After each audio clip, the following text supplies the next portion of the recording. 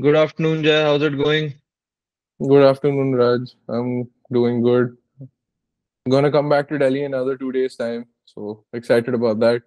I've been And away from home back for quite quite a while now. It's been 20 days almost. 20 days, yes. And then you're back to Yeah, Calcutta after a couple of days in Delhi. yeah, yeah, yeah. Because like the procedures are still left to be completed. So Mm. for for our viewers who don't know, Jai is about to become a father.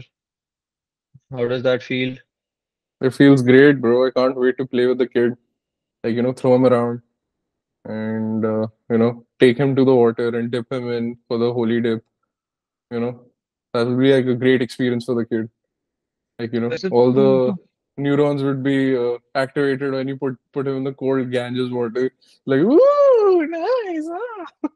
तू अपने बच्चे को Ganges में dip करेगा तो Yeah. Hindi बोलता हुआ निकलेगा या बंगाली बोलता हुआ निकलेगा I think he'll, I don't know. He'll probably speak Sanskrit, bro. um, Jhatagam, Jhatagam. Anyway, go ahead. I'm sorry, it's a joke. Don't arrest me. Hello. uh, speaking of fathers, Yeah. uh, the government of India, which is uh, in a way, if India is a kinship group, it is a father. Yeah. It it The is fatherly figure. yes, it is busy with the organizing of the incoming Lok Sabha elections of Yes. 2024. The biggest And democratic exercise in the world. yeah, एकदम रट के बोला ना तूने जैसे वो class Yeah. Fifth में बच्चे इलेक्शंस पे Yeah. ऐसे लिखकर क्लास के सामने Yeah. रीड आउट करते थे Madam, biggest what is democratic the exercise तुम रट के आए हो ना? नहीं मैडम, रट के आए हो तुम. Speaking of the biggest democratic exercise Yeah. In the world आज का हमारा टॉपिक का डिस्कशन है इंडिया की electoral history the Can moral you code of sub- conduct Yeah, I mean, I think it should also be more in English because I'm assuming there will be some view- viewers who do not understand Hindi. So, fair fair we yeah, must keep it inclusive of all yeah, linguistic groups coming that to yeah we'll start with this coming back to yeah. our topic of discussion uh electoral history of India, Jai. Uh, Hmm. I believe uh, we've done some research to put the content out there. Yeah. So, So, uh, India is a very young democracy. Uh, we got independence from our colonial masters in 1947. And after that, this experiment with Western philosophy with respect to democracy was pretty nascent. And we faced our fair share of problems, specifically with respect to the autonomy and independence of the organization which conducts elections. That is the Election Commission of India, and it draws its power through constitutional uh, constitutional backing in the Article 324 of the Indian Constitution. Now, in order to understand how the electoral processes uh, have changed and evolved over the years, there were multiple community, committees that were established by the central government. The first and the most important committee it was the Tarkunde Committee, which was established in 1974. It was uh, formed on the basis of the citizens of democracy. It was appointed by the revolutionary uh, socialist leader of India called uh, Jayaprakash Narayan. For our younger viewers, uh, he was a very big political figure uh, after the Congress party back then. And uh, the election, uh, what this committee said was that the election commission uh, should not only be independent in theory, but also manifestly uh, appear to be so in the exercise of its power while conducting elections. It recommended that the members of the election commission uh, should be appointed uh, by the president on the advice uh, of a committee which should consist of the prime minister, leader of the opposition, or any member selected by the opposition in the Lok Sabha and the chief justice of India of the Supreme Court. So the present rules that we see for the selection of the members of uh, the Election Commission of India, the seeds of that rule and procedure were in the Tarkunde Committee. So this is the very newly implemented selection panel for the selection of India's chief election commissioner and election commissioners. Yes. So it's very similar to actually the process of appointment of the CBI director. that you have the Yeah. Prime Minister, a leader of opposition, and a, uh Chief, Justice of India or a Supreme Court judge. So that uh, that I suppose is the way to establish neutrality in institutions and uh, objectivity in their performance. So let's Yes, carry on the discussion. Yeah. The other committee that was established after Tarkunde committee with respect to electoral reforms was the Dinesh Goswami committee. The Dinesh Goswami committee said that the appointment of the chief chief election commissioner uh, should be made by the president in cons- consultation with the CJI and the leader of opposition, as we had discussed in the previous committee. But it also went on to say that the cons- consultation should have a statutory backing. Now, what statutory backing means is that the central government would pass an order or an act, and that act would give this process of I mean, recommendation. Yeah, Uh, it, it would get its sanction from an act of the par from an parliament. act, That's exactly. and that act, body yeah, means. Right. yes, yes, yes, and that act being the uh, representation of uh, People's Act 1951.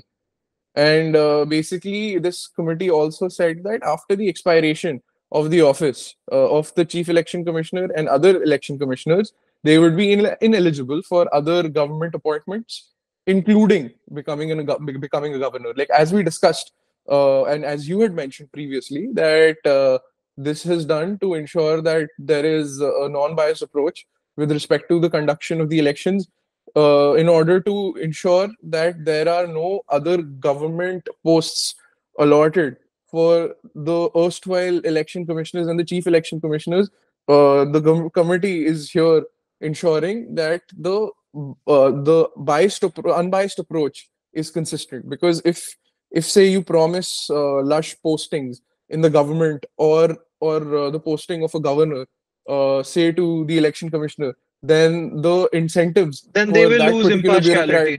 exactly the impartiality aspect of it is is lost Constituent Assembly and uh, the founding fathers of modern India, in many Yeah. ways, uh, it can be interpreted to an extent that they expected a certain degree of impartiality and neutrality from all the constitutional bodies, yes simply meaning Yes. the bodies that derive their power from the Constitution of India. That could be the Election Commission, etc. Yes.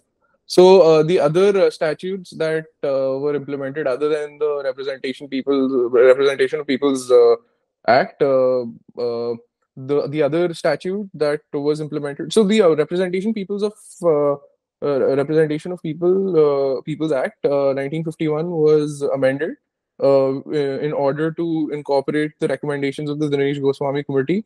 Another uh, another act was passed, which was called the uh, Chief Election Commissioner and Other Election Commissioner Conditions of Service Act 1991, which also enshrined these recommendations. So the amendment that was made in the Representation of People's Act was in Section 159.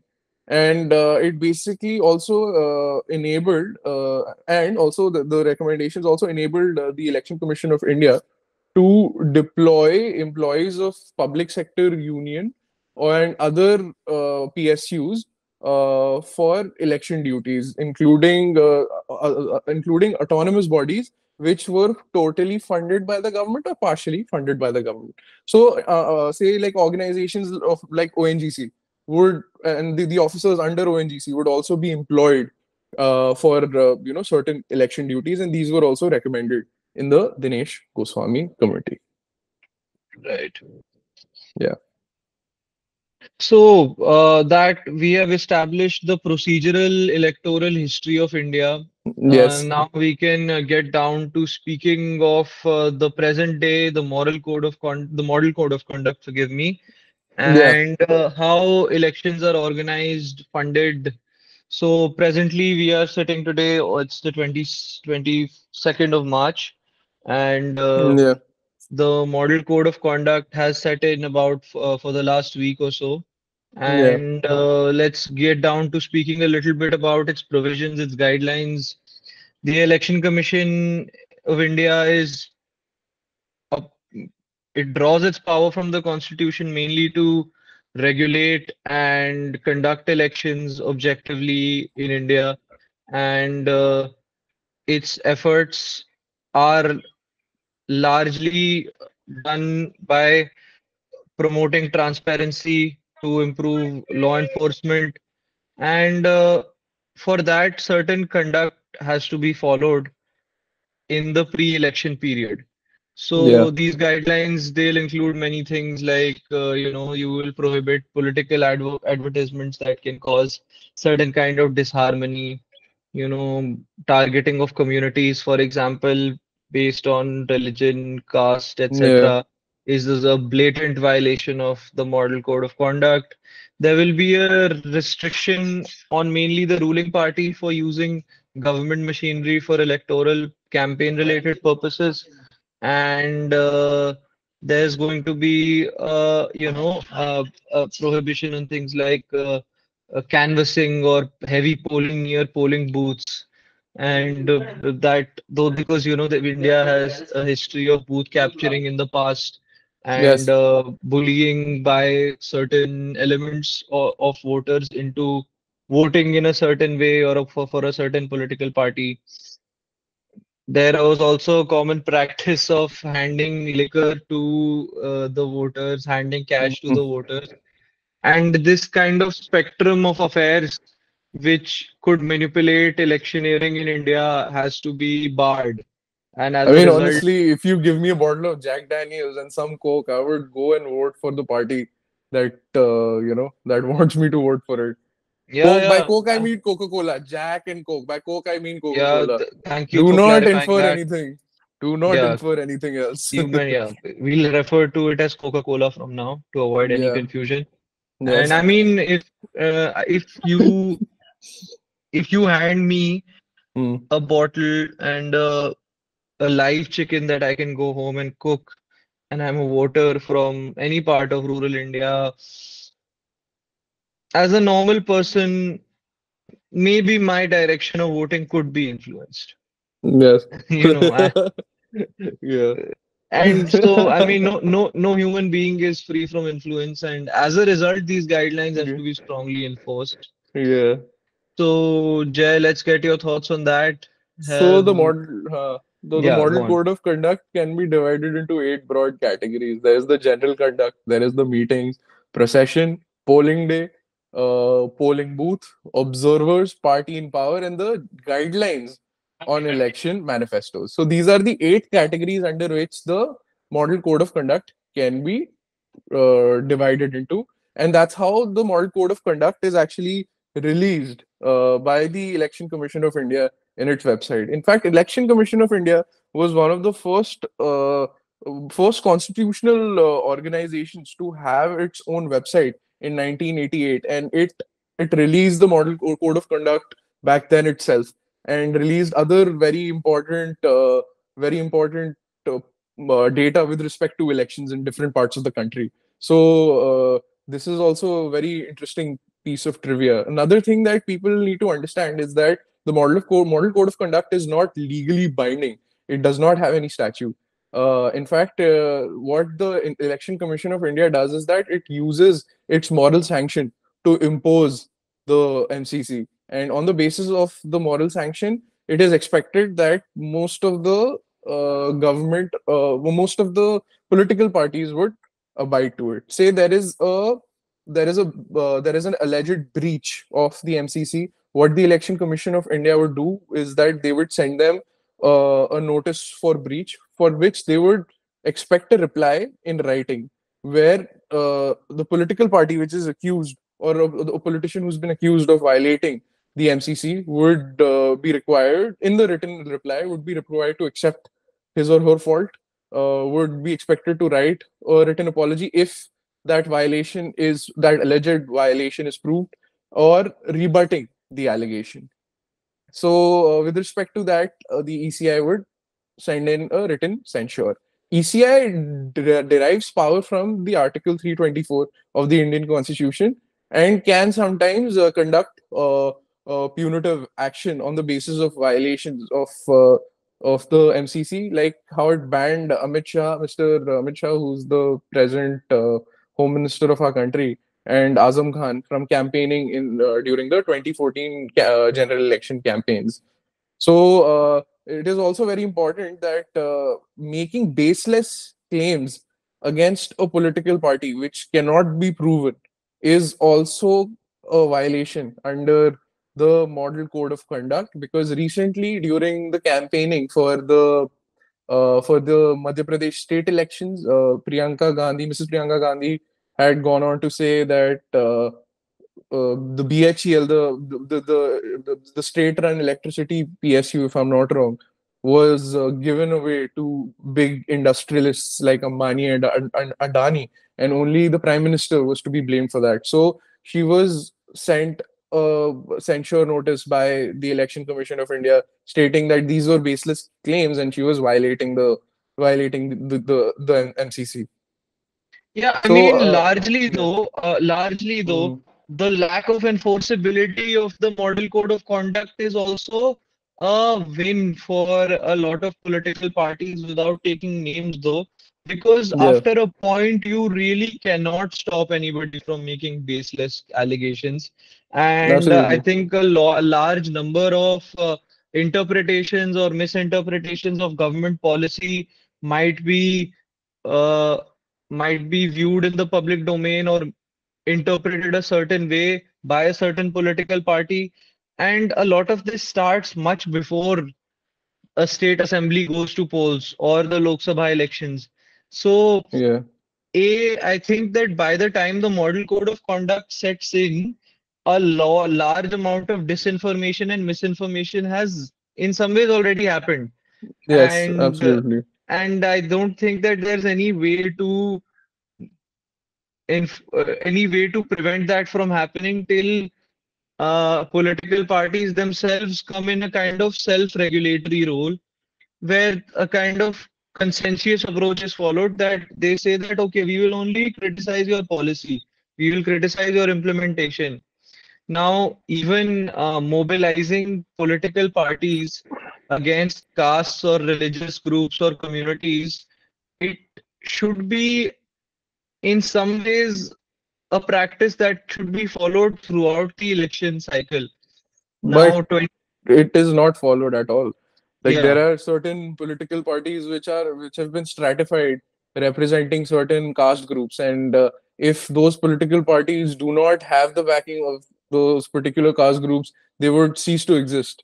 So the the the goal of ensuring that uh, no caste-based stratification happens with respect to politics is uh, is a goal that has failed with respect to the moral code of conduct. Because even though there are there are no no general calls for uh, for certain uh, uh for certain caste groups to come and vote for uh, the, their respective political parties but it is always understood through subtle imagery and uh, campaigning where it is known that if you vote for this political party that political party will uh, work for your benefit and for your uh, gain all alone. Yeah. So that angle of the MCC has uh, fallen uh, fallen to deaf ears, in my opinion. In fact, uh, another aspect of MCC uh, MCC's failure is that uh, uh, another very important rule under the code of conduct is that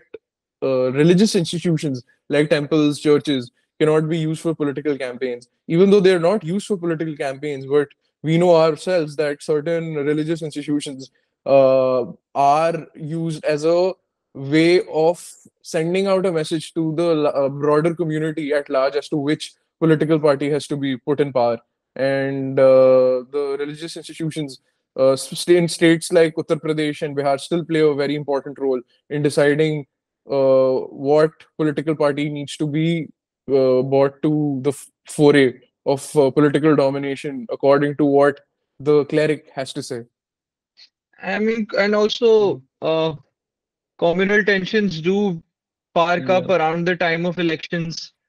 Yes. Fairly, fairly passionate claims are made, statements are made, and the enforcement or the will to enforce the model code of conduct in various states the prevention of usage of government machinery for election, the prevention of uh, uh, opposition parties making such statements here and there.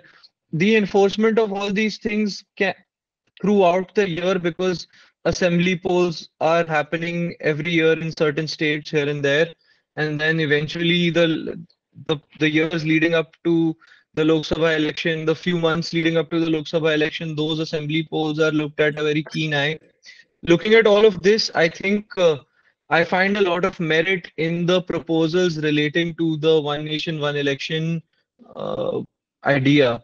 Very recently, the former president of India led panel, uh, uh, former President Ramnath Kovind led panel submitted its report to the incumbent president of India, and uh, the report has largely concluded a positive view for uh, uh, conducting of one nation, one election.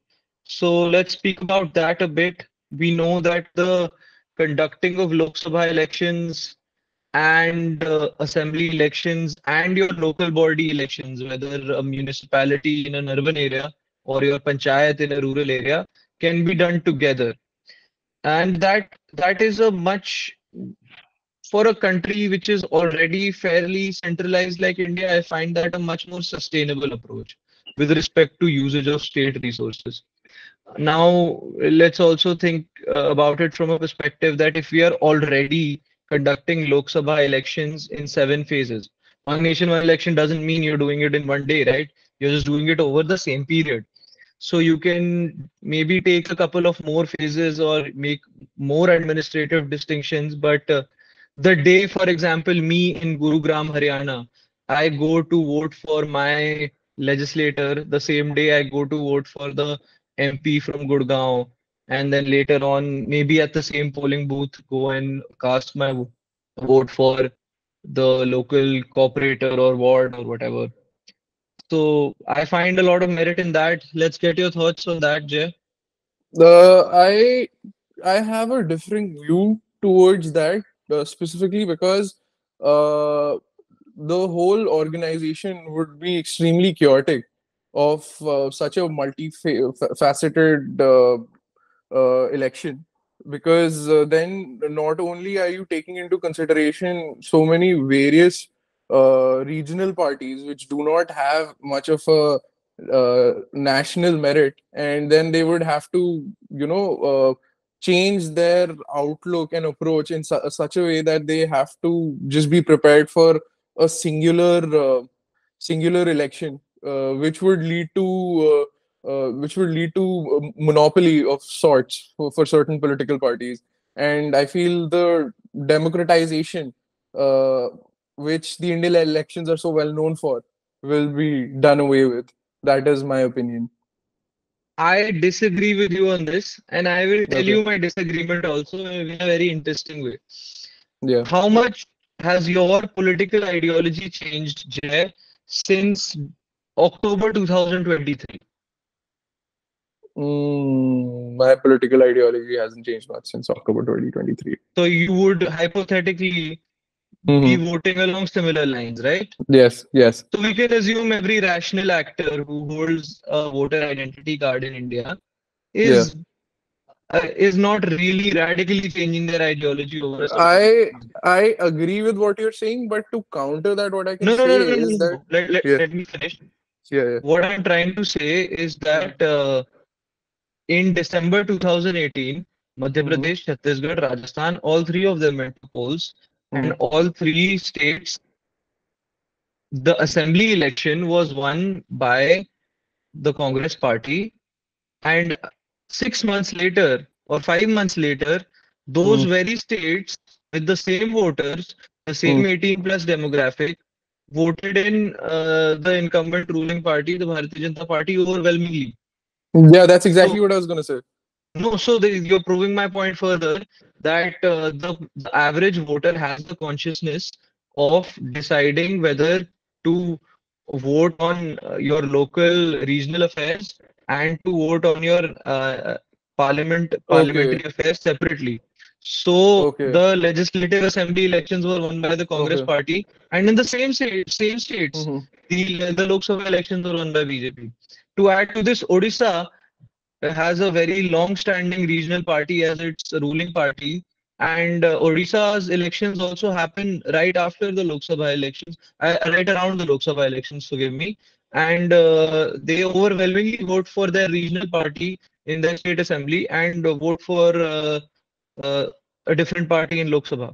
So this this centralization anxiety has been expressed before. I don't blame you for having it, but uh, Yeah. there is very interesting hypotheses that can speak uh, uh, or provide a contrary contrary view. Okay. Fair enough. It is definitely an experiment that has that time has come. Uh, the first uh, few Lok Sabha elections and assembly elections happened together only. Later on, the political instabilities of the 60s and 70s led to many governments being suspended in the middle, some state governments being uh, being totally relinquished from power, and then their elections would be held in random years. As a result, the election cycle changed. Even now, by one Hmm. nation, one election, because I'm saying it can be done in phases. Lok Sabha election is happening in 2024. Few months back, we've already seen Mad- Madhya Pradesh, Chhattisgarh, Rajasthan, Mizoram go to polls. Now later we will see Haryana go to polls, we will see Andhra Pradesh go to polls, we will see Odisha Yeah. going to polls. So the Lok Sabha elections and 12, 13 states elections are already happening within this one year. So if you can just push these elections closer to the Lok Sabha, pull back some elections from maybe October to like June, July, make the phases longer, the one nation, one election exercise can actually be conducted. That is my view. Okay. Nee, that is a pretty convincing argument, and uh, I can certainly reconsider my fears with regards to centralization. So, yeah. I'm, I'm glad uh, that uh, I could. It's a civil di- di- civil discussion. You hardly Yeah. see guys talking over political ideologies and concede. But uh, Yeah. बड़ा भाई बड़ा भाई होता है for a reason. So uh, I mean, Wait, are lot- you are you calling yourself the elder brother? No, no, I'm calling you. I'm calling you the elder brother for having the greatness to Okay. concede. No, actually, uh, my whole uh, doubt with respect to centralization was that whether the regional parties, uh, whether the regional parties would be able to accommodate themselves in this new, uh, new political climate that would be presented to them. That was my main uh, anxiety, and I think you have uh, summed it up pretty well. So uh, we can leave that to rest. Uh, do you want to talk about criminalization of politics and how that has affected the elections? Yes, I I think that this is a very, very tightrope because Yes. um, to many, to a large extent, criminalization of politics was and has been so rampant that uh, its reversal is going to be a long process. Mm, So Absolutely. you have was provisions of the Representation of Peoples Act, and uh, you have uh, guidelines of the Election Commission that do their best to uh, prevent criminalization of politics, but the challenges are very complex. it was the Vohra Committee in 1983 which said that there is a extensive nexus between uh, between criminals and politicians, and eventually people who were in, involved in organized crime and unorganized crime became the people who were the lawmakers. So the lawbreakers became the lawmakers, and that was highlighted in Vohra Committee. And according to which there were certain changes that were uh, recommended to the Section 8 of the uh, of the Representation of Peoples Act 1951. Section 8 deals with the disqualification and deals with the the crimi- criminalization of politics aspect that we just discussed. So the Section 8 provides for disqualification and conviction for certain offenses according to which individual punished with a jail term of more than 2 years cannot stand in elections for 6 years after the jail term has ended a lot of people say that the uh, the extension of six years should be made in, in the recommendations the extension of six years should be made the day the conviction takes place. Some people also say that it should not be for a jail term for two years. It should also be for a jail term for six months. So say if a politician uh, if a if a candidate is con- uh, is convicted even for a six months jail term his disqualification and uh, non-participation in election should be with the immediate effect uh, on the date of the conviction and and uh, and not once the jail term ends. So these are the recommendations that are made which haven't been implemented as of now, and uh, and it is said that uh, the uh, people with a criminal record in in in in our legislations has only increased in in the recent history. Yeah, fair. I mean, yeah. see, I will not blame any particular authority for prevention of uh, criminalization of politics, or for rather the inefficiency, inefficiencies in its prevention, because uh, it is a question about the social fabric of our country. And mm-hmm. I feel like this is an issue that is deeply interlinked first with electoral funding. Because to generate large sums of money to be able to contest an election, you need access to many land resources, many kind of other resources, the generation of large amounts of income. Uh, for example, you have a uh, you have a candidate who has a criminal background. He has an assistant who he can promise that I will help assist you in your political career. That person has certain amounts of encroached land which he can sell off. For these things, you need uh, uh, for these things you need uh, muscle power. You need uh, you need a certain kind of uh, dabdaba, as they say in rural areas. You know, yeah. you need you need muscle power essentially to be able to generate that kind of money. So large sums of money need to be generated for conduction of elections because we need to conduct a campaign after all.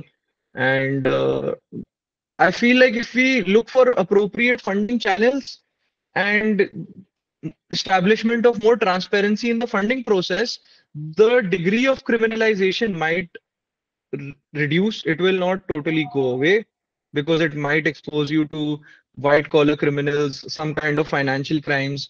People will try to outdo that process legally, find loopholes there also.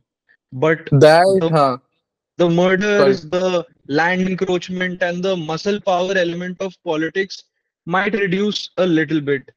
And for that reason, uh, you can't speak of electoral funding without speaking of the electoral bonds for uh, for reasons uh, which may be well argued and agitated in the Supreme Court. Not my area to comment, or much beyond my understanding also. But I found merit in that idea. I found merit in the idea of electoral bonds largely because it at least gave a supervisory authority to the funds that came in. And uh, and I feel it also increased the levels of uh, transparency. The moment the Supreme Court said that the data needs to be released as as to how much a political party has gained through the funding under electoral bonds, uh, the State Bank of India released the information immediately. So again the arguments that India is becoming a, a non-transparent state is uh, contradictory to the recent uh, approach that has been taken by the central central state bank of India. Mm-hmm.